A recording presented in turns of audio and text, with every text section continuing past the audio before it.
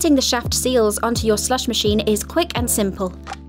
This guide works for both our regular and compact machines. First, empty and remove the tank.